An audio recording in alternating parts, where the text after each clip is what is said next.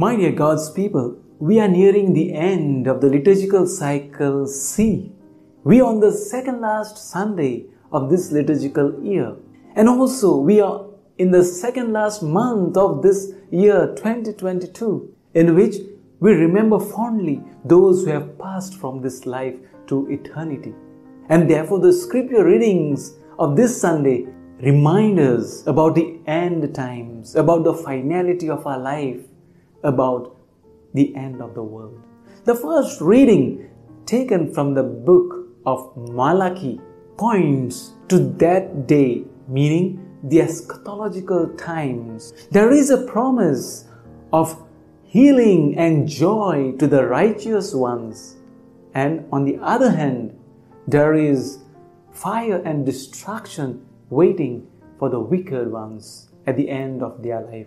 In the gospel passage, Jesus speaks about the end times. Jesus offers not a way of predicting the end of the world, but he offers spiritual resources to cope with adversity and hardships. First, he begins predicting the end or the destruction of the temple. So, therefore, I would like to say something about this temple. A little bit of its history may not be in detail, well, in the history of the Jewish people, the Israelites, the first temple was built in the 10th century BC by King Solomon. It was a beautiful and magnificent edifice in all its glory and splendor. But that temple was razed to the ground, was destroyed completely by the Babylonians in the year 586 BC, and the Israelites were taken into captivity to Babylon. Later, the Babylonians were defeated by the Persians, and in the year 538 BC, King Cyrus of Persia allowed the Israelites to go back to their land and rebuild their temple. The temple, the second temple now, was built under the leadership of Zerubbabel, the grandson of King Joachim. He was in the lineage of David. And for the restoration work, there were priests Ezra and Nehemiah, under whose leadership all the work of restoration took place. So, this was the second temple built, but that never matched in splendor to the first temple built by King Solomon. It was built in hurry. The second temple was desecrated by the king Antiochus Epiphanes in the second century. But Mattathias and his family revolted against the king and purified the altar, rededicated the temple. This same temple was again restored to its splendor and glory by King Herod the Great, who was then the vassal king of the Romans. This was the temple at the time of Jesus, and in the gospel passage, we see some were admiring the beauty of this temple. And Jesus predicts the destruction of this temple. The prediction of Jesus came true in the year 70 AD when the Romans this time destroyed the temple.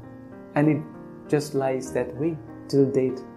There is no more third temple as such. What I want to say, my dear people of God, everything, however beautiful it is, no matter how magnificent it is, will have its day, will be destroyed one day. Even the temple of our body, no matter how we try to decorate it and adorn it, everything will come to decay.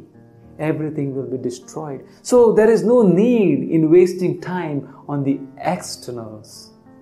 What is necessary is to enhance the beauty and quality of our life life fittingly lived that will help us to be in fellowship with God even beyond death. Secondly, my dear people of God, everything will surely suddenly come to an end. The world will come to an end, but it is insignificant to ask how and when the end will come. Because tomorrow, if I die, that will be the end of the world for me.